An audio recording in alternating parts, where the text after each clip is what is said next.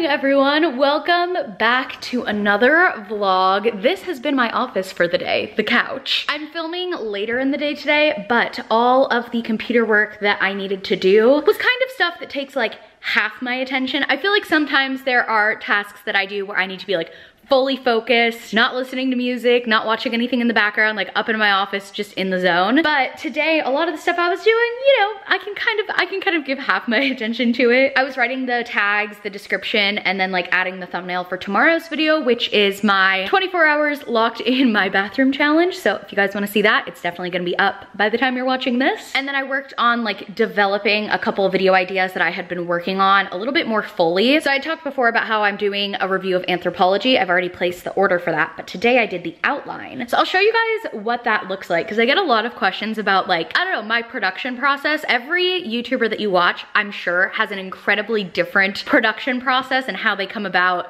coming up with their ideas and if they script it or if they do outlines or if they just go off the cuff. I've been doing my outlines kind of the same way for almost two years now, I would say, and it works well for me. So I do a video outline like this for each individual video and then I do a table table that usually has two sides. So the left will be like the topic and then the right will be the points that I need to hit and talk about as I'm going through that. So I just took screenshots from my order confirmation and put them on the left side and then on the right side I put the name of the product and the size and the price even though the product name and size is kind of redundant because that's here anyways. And then some of them I have notes based on like what the review said or like when I ordered this one I thought it was funny because it's literally called the Sierra Smocked Linen Jumpsuit and it looks like Joseph's Amazing Technicolor Dreamcoat.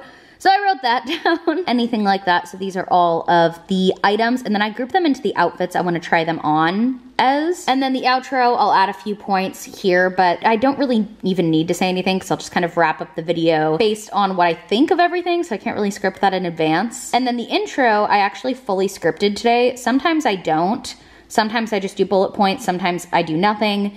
But this one, I went ahead and I fully scripted. So this outline is ready to go. I'm filming this on Wednesday as long as the package gets here on time. It's about two o'clock in the afternoon right now. And I had mentioned this in the last vlog, but Stephen finally got his work from home set up from work, which I'm so happy about because that means he doesn't have to go into the office anymore, which is a huge weight off my chest, I guess. It's something that I had definitely been nervous about every day that he had to go into the office. I actually need to go, I'm gonna blow dry my hair the rest of the way because we're filming in about an hour. And then I also need to do my makeup, which I have not worn like foundation foundation in probably three months and I'm kind of loving it. So I've just been doing like powder and then my normal eye makeup, filling in my eyebrows, mascara, but pretty much the same thing except no liquid foundation. And I've really been enjoying it. So I think I'm still gonna do that even though I'm filming today. Sometimes the lights in the studio can like really wash me out. So I do have to make sure that my skin doesn't come across as like translucent in the video with all the lighting and camera equipment and stuff. But um, I'm gonna shut my computer now that I'm done with that and head in to the bathroom. Totally left my phone out there. A few moments later. I just checked my email as I was walking back in here and I have an email notification that I think this is the person I think it is. A guy in one of my college theater classes who I have not spoken to in four years tried to add me on LinkedIn. Sure. On YouTube, this is a stream. Do you guys know what?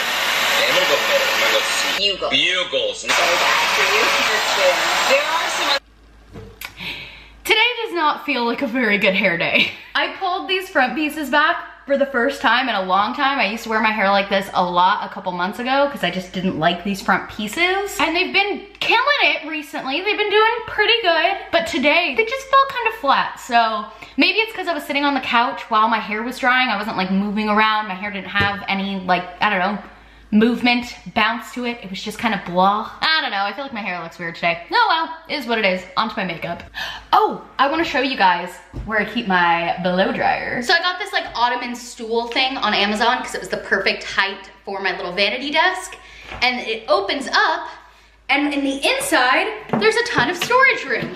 So I keep like my blow dryer, my straightening iron, which I never use, and my curling iron, which I haven't used in like a year in there. But it's super convenient and it keeps my hair dryer like in an easy access place, but also keeps it from cluttering up my actual vanity area.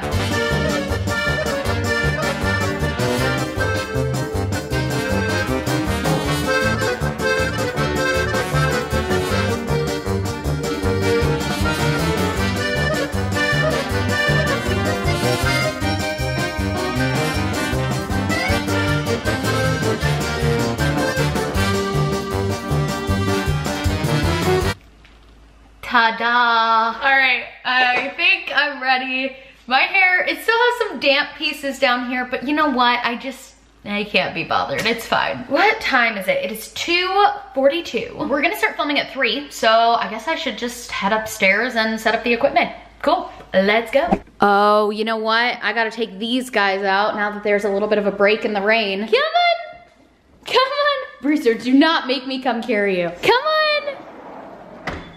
Oh, you're so gonna make me carry you. Angel, I know, it's cold. Stephen's making some good progress up here on the Poshmark shelves. As soon as we get these up and organized and all the clothes in those boxes put away, then I'm gonna reopen my Poshmark shop. And my Poshmark shop is just at Schultzzie. I'm at Schultzzie on pretty much everywhere on the internet. Into the filming room. We did finish the brick and I appreciate the honest feedback in the vlog where we put this up. I know it doesn't look great. I know it's not ideal. In a perfect world, I would have been able to hire someone to come do this the right way, but being everything that's going on with the world, we're just gonna have to make this work. And the wallpaper wasn't too expensive, so if in a couple months or a year or however long it takes for the world to get back to normal, if I still feel like this looks like crap, which I'm sure I will, then I can always just take it down and, and have someone do it the right way. And this is my first time showing the final product on the vlog, even though we finished it two nights ago. It, showed it yesterday. Oh, you did? This is good, in my opinion.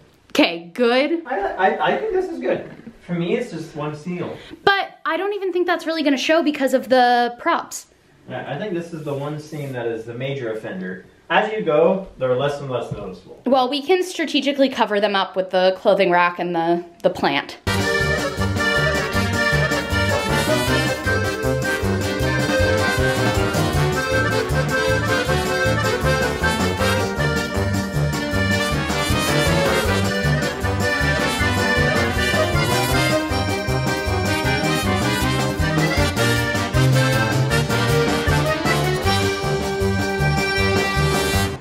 As you guys just saw, I set up pretty much all of my equipment. Right now I am formatting the cards. My audio recorder is really slow when I tried to format cards in there, so I always just do it on the camera. And I always, always, always, always triple check my cards before I format them because I have made that mistake before. I put markers on the ground for exactly where the tripod goes, the chair goes, the um, wardrobe rack goes and the plant goes. Also, sorry for the noise. I turned the AC unit on full blast before I film because then I have to turn it off when I film because it's too loud. You can see I'm already getting a little bit sweaty and shiny just from the hot lights in here. It gets very warm. Also, I'm wearing a sweater. Is my very simple outfit of the day. I've got these Hollister paper bag waist shorts that I have been loving lately, and this little like pastel rainbow striped sweater. Another thing that I always have to think about when I'm filming is making sure the colors that I'm wearing are colors that show up well on camera. This sweater I've worn on camera before, and I know it looks good, so I am all set to go. So I've got the mic here hanging just about as far down as it can be without coming into the frame. Today, we are going to be testing audio for the vlog. I think that looks pretty good. I usually like to keep it right around between negative 12 and negative 18. Actually, I could turn it up a little bit. Hello, hello, hello. There we go, that's perfect. In this box right here, I have my two monitors, which in the old studio were mounted like right in front of me. And I'm gonna do the same thing here. I think I wanna mount them on this wall or possibly get like a rolling tripod kind of thing that I can put these on top of. That way I can move it wherever I want. One of them will show what's on here and the other one I use to show my video outline. That way I can peek up at it as I go and make sure I'm hitting all the points I wanna hit. For now, for today, I will just look at the script and the outline from my phone and if Stephen is gonna help me for the talking part then he can look at it on the iPad. I actually don't need you for the talking part, I can do that. Yes. But I need you for the photo shoot part. All right, uh, okay, cool. I'm gonna film the intro and stuff by myself then. I'll just have you focus the camera for me and then I'll call you in when I need help with the photo shoot. I love you. I love you too. It was like you said that to the vlog, I but it was to me. all right, I'll turn this off. Make sure the plant is all centered. Also, peek inside the plant. We ordered this fake plant and then we ordered this pot and then we realized that one is too small for the other. So we just piled up the styrofoam that it came shipped in and we never got a more permanent solution. So Yeah, I. I know, me too. We just kind of balance it there. Perfect. Make sure the clothes are perfectly spaced out. There we go. Make sure that all the lights are on. Make sure the mic's not in frame. Oh, gotta turn the camera on. Oh my gosh. Yes. Welcome to my channel. How's lighting?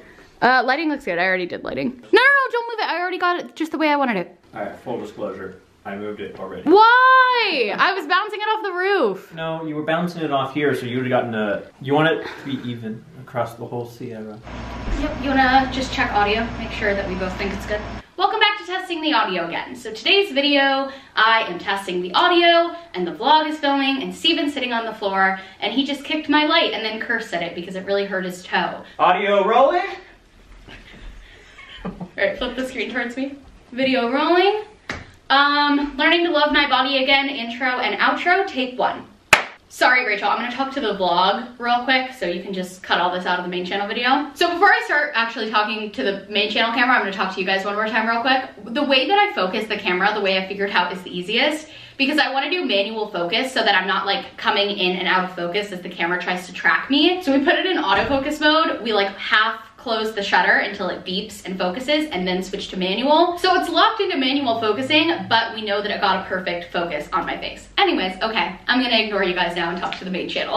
All right, I just finished filming. I'll sit back in my chair. I had scripted this video because I did want to make sure that I said everything in, in the right way, in the way that I wanted to, but I ended up going off script quite a lot. I had written my script, I'd like look at the line and then I'd kind of like paraphrase it back to the camera and sometimes I'd just kind of like go off on a tangent from there. But then sometimes I would be like, wait, no, that doesn't sound right. That is not the way I'm wanting this to come across. And so I'd look back at the script and be like, that's how I worded it. For most of my videos, I just do like bullet points as I showed you guys in the outline earlier today. Most of the time, I would say it's a little more extensive than the outline I showed you this morning, but not as extensive as like having full sentences written. But when I'm doing videos like the one I'm filming today is about learning to love myself again after my miscarriage. And since that's a sensitive topic, I knew it was really important that I don't mince words with that. So um, I finished filming that intro and outro. I, I thought there was one more intro and outro I had to film. Let me check my schedule. Yes, I have one more intro and outro, but I wanna change my shirt before, wait, nope.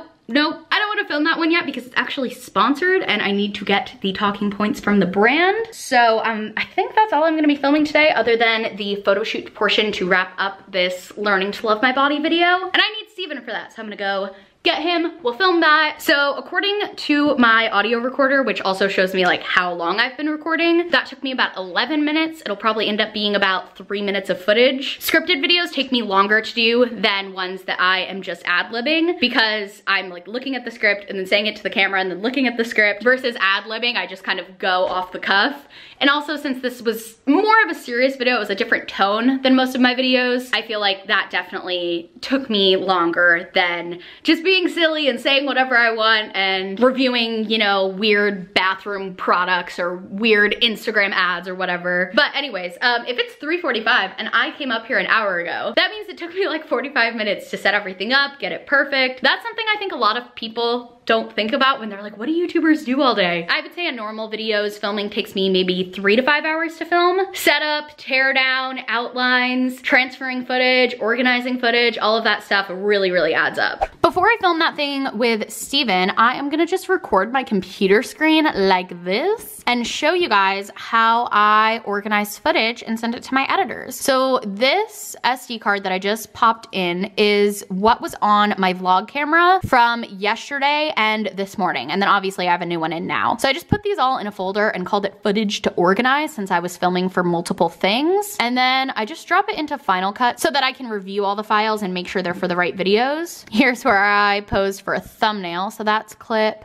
4816. So I'll go through and take a screenshot. That's a good one.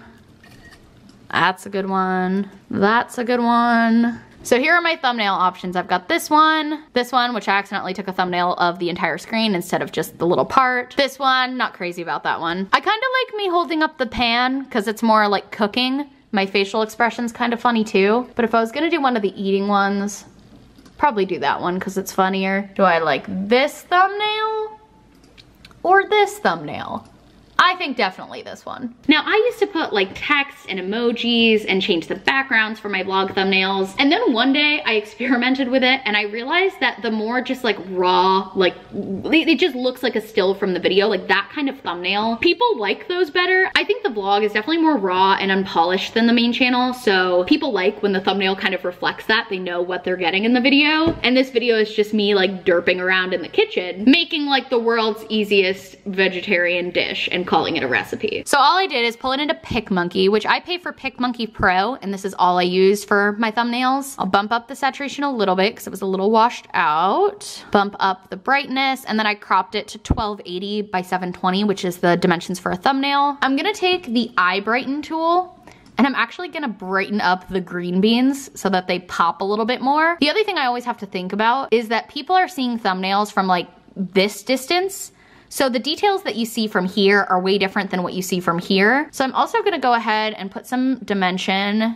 in my hair and in my eyes, but I'll fade it so it looks more natural. And that's it. My vlog thumbnails are very, very, very simple. My thumbnail editor, Emily, made, let me show you this thumbnail for my main channel video tomorrow, which I thought was so funny and good. She's so talented. Usually for my main channel videos, I just go through the photos that I took for it, pick my favorite ones that I wanna be used in the thumbnail, and then I'll email that to her like at least, I don't know, four or five days in advance, give her some time. Ideally, it would be like a week and a half in advance. That's what I like aim for. And then I'll give her any design notes and then she'll just run with it. And she's really, really good at what she does. So like for that thumbnail, the 24 hour bathroom challenge, I said, hey, are you available to make this thumbnail for Tuesday's video? The concept of the video is, and then I put the title of the video, I spent 24 hours living in my bathroom overnight. I said for the thumbnail, I'd like to use these two photos. I'm open to design concepts on how to incorporate them both. For the one of me eating the salad, maybe you could Photoshop it so it looks like I'm sitting on a toilet. If that's not possible, no worries at all. I just thought it could be a funny idea. And she did it. She made it so it looks like I'm sitting on a toilet, which I think is real funny. All right, now the rest of this should just be for that one one vlog until the morning. Here is where I started the next vlog. So now I'm gonna name this footage to organize folder, cooking lunch vlog. And starting at 4832, this is all the stuff for this morning's vlog, all the way through to the end. This is gonna be behind the scenes vlog. Oh boy, I usually only get this excited when they say the title of a movie in the movie. Also, I saw a couple questions about why Ricky Dillon doesn't edit my vlogs anymore because he used to be part of my editing team. He just got too busy with his own channel and editing for the Dolan twins. And so he was like, hey, I'm really sorry, but I don't have time anymore. And I was like, you are all good. I appreciate the work you did. He's really, really great and he did great work when he was on my team. And now now um, my editor, Rachel, who does my main channel videos, I asked her if she knew any editors and her boyfriend, Mario, who's probably gonna be editing this vlog, came up in conversation. And I was like, you know what? That would be super convenient because I'd be sending all of my footage to the same place. If one of you is too busy to edit, you can switch it off with the other one and I don't even have to facilitate it. So we ended up trying that out and it worked great. So I edit vlogs from time to time still, but I would say Mario edits most of them, maybe like 60, 70% of the vlogs. At least right now, it used to be more like 100%, but I've been vlogging so much right now that we have to like switch off on who edits them to keep up, which is a good thing. It means more content for you guys. Okay, so those are all added. That means I have thumbnail screenshots, everything is in there, and that is good to either start being edited by me or transfer to my editor, Mario. So I'm gonna text him. He's working on Saturday's vlog right now and see what his schedule's like to see if he has time to edit it or if I should edit it. So say, hey Mario, hope you're doing well. I have two more vlogs ready to be edited. I can edit one or both of them if you're too busy. And then once he gets back to me on what works for him, I will send him the files on WeTransfer. Usually it's really easy and I can just click the entire folder and send all of that. But if I click get info on this folder, it's 8.93 gigabytes, which is not a crazy amount, but with the way Wi-Fi's been, they've been having trouble at their house downloading any folders bigger than five gigabytes. So I'd probably split this up into two like four gigabyte folders and then send it as a part one and a part two. Sometimes I'll be filming for like three or four or even five videos at once if I'm vlogging and then I have to, you know, film a vlog outro from a previous vlog, I start a new vlog, I'm filming b-roll for a main channel video, it can really add up and get complicated. I know a lot of YouTubers like using multiple memory cards for that, but at least for me, I have had one too many mistakes of losing track of memory cards or swapping out the wrong one. And for me, it's just easier to organize it all when it's on my computer. So I need to go finish filming that main channel video because it is four o'clock and at 5.30, we are doing a Zoom call for Kyle's birthday, which I'm so excited about. But I'm gonna go ahead and edit this vlog thumbnail real quick, have that ready to go, and then um, I'll head into the filming room and finish filming with Stephen. Also, I guess one thing I just wanna add since I'm talking about being a YouTuber and how I film and stuff in this vlog, being a YouTuber is the best job I could have ever asked for. I absolutely love it. I am so lucky and so privileged to get to do what I love for a living, which is why I try my hardest not to complain about the not so great parts about this job because I don't ever want it to come off like I am ungrateful for everything that I have and everything that you guys have allowed me to have. But of course, as with any job, even if you absolutely love what you do, there's gonna be some parts that you don't love as much. And I try to be realistic about those things without complaining about them, which is kind of a hard balance if I'm being honest. But I just really love making videos. I really enjoy it. And rarely does a day go by where I don't just sit back and go, wait, this is what, this is what I, I get to do all day? Like this is the coolest thing ever. If you've ever thought about starting a YouTube channel, I highly recommend it. Just do it, just go for it. You'll never know if you don't try. Starting a channel is the best decision that I ever made. And I'm really, really glad that I took that leap and tried and then kept going even when I really sucked at it at the beginning. also, if you guys would be interested in a video about I don't know, I guess more my tips on how to start a YouTube channel, let me know. I think I made a video like that like way back in the day when I had probably 50,000 subscribers. Obviously what I know now and the information that I think is like really, really useful now has changed and evolved and adapted. So if that's something you guys would be interested in, let me know and I can definitely do that. Maybe a podcast so that I can like fully go in on every little detail without feeling like I have to cut it down for a video or maybe a main channel video. I don't know, let me know. Happy birthday, Kyle! Yeah! Happy birthday, dear Kyle! Happy birthday to you! Yay!